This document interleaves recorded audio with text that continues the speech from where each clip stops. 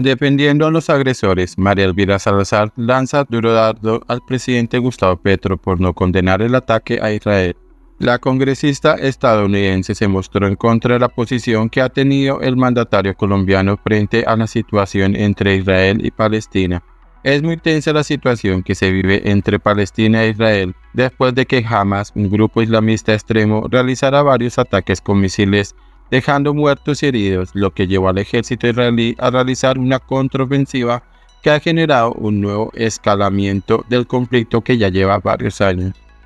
La situación ha encendido las alarmas en todo el mundo y por eso distintos líderes políticos se han pronunciado contra del ataque terrorista que está sufriendo Israel. Sin embargo, a diferencia de los jefes de Estado de otros países, el presidente Gustavo Petro no condenó lo sucedido y volvió a comparar esta guerra con lo que ocurre entre Rusia y Ucrania. Por medio de mensajes en su cuenta de X, antes Twitter, el mandatario colombiano recordó sus palabras durante la Asamblea de las Naciones Unidas y pidió que haya un diálogo de paz entre los actores de ese conflicto que se originó en 1948.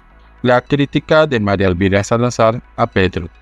Las palabras del jefe de Estado colombiano han desatado diferentes reacciones, especialmente duras críticas por no condenar vehementemente el ataque de los Hamas contra el pueblo israelí, tal y como lo han hecho los líderes mundiales, como es el caso de Joe Biden, presidente de Estados Unidos.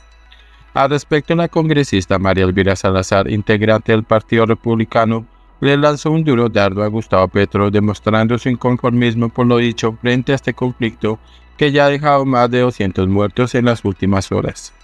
En un mensaje en su cuenta de X, la parlamentaria cuestionó las posiciones del presidente de Venezuela, Nicolás Maduro, y el presidente de Cuba, Miguel Díaz-Canel, frente a los dos conflictos y aprovechó para enviarle un fuerte mensaje al presidente Petro. Mientras el mundo repudia el atroz ataque a Israel, los aliados del terror en nuestra región, Díaz-Canel y Maduro, no rechazan la agresión y anda felicitando a Putin por su cumpleaños. ¿Y qué decir de Petro defendiendo a los agresores? dijo. La congresista agregó, estos son los amiguitos de Biden.